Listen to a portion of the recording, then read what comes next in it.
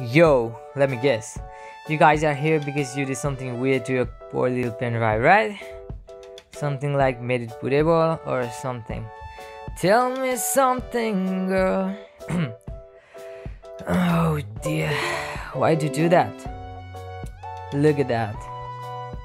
Oh, my pen drive used to be called by other name, not by that weird name.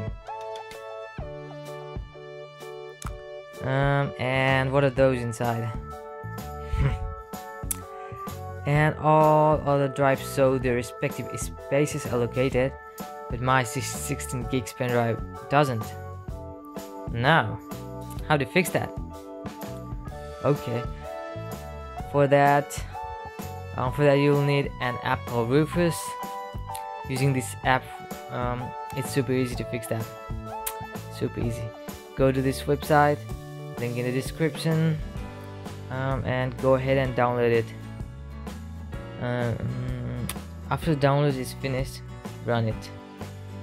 Run. Um, so so Rufus, should select your USB drive automatically and if it doesn't just select it from the drop down. And make sure it's the correct one now change the boot selection to non-bootable. Um, and you don't need to do anything else except for changing device name. Um, if you want or rather I mean USB name. Uh, I'll put mine as Kali because why not?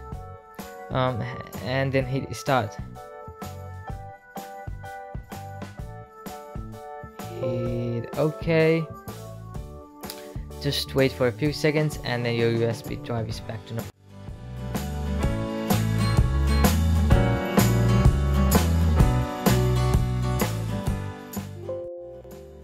Perfect. Now enjoy your time with the drive.